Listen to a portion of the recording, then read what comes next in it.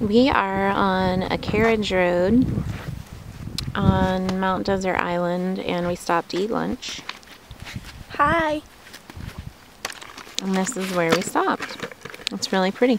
This is what we ate. And we're sitting on a rock. I can't see it, it's too dark. What about now?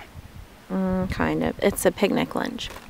And we're surrounded by all sorts of beautiful evergreen trees, pine trees, and Christmas trees. And it's cold. And it's chilly because we're in the shade. Uh. And jets keep going in the sky.